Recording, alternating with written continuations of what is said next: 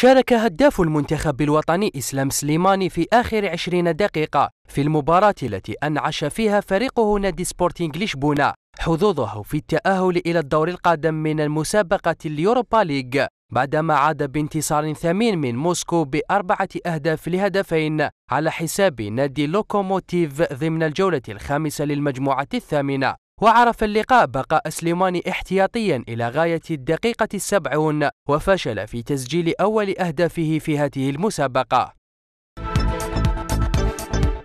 عرفت مباراة نابولي أمام مضيفه كلوب بروج البلجيكي في إطار مسابقة اليوروبا ليج سهرة الخميس حضور الدولي فوزي غلام كبديل بعدما قرر الطاقم الفني للنادي الإيطالي إراحته لعدم أهمية نقاط المواجهة. الظهير الأيسر الجزائري شارك بداية من الدقيقة السابعة والسبعون في منصب هجومي على الجناح الأيسر طيلة اللحظات الأخيرة من المباراة ويتوقع أن يستعيد غلام مكانته الأساسية في المباراة المقبلة أمام إنتر ميلان سهرة الاثنين في الجولة الرابعة عشر من الدوري الإيطالي.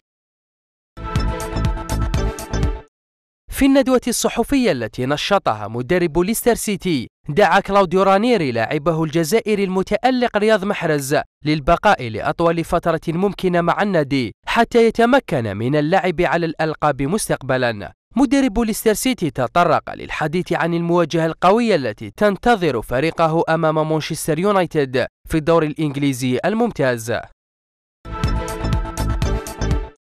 أكدت تقارير إعلامية إسبانية أن حظوظ نادي إنتر ميلان في ضم الدول الجزائري سفيان فيغولي من فالنسيا أصبحت ضئيلة جدا خاصة بعد التصريحات التي أدلى بها اللاعب في الأيام الماضية وقرب تجديد عقده مع فريقه إضافة إلى الإصرار الذي أبداه مدربه بتأكيده على أن اللاعب باق ولن يغادر في الميركاتو الشتوي.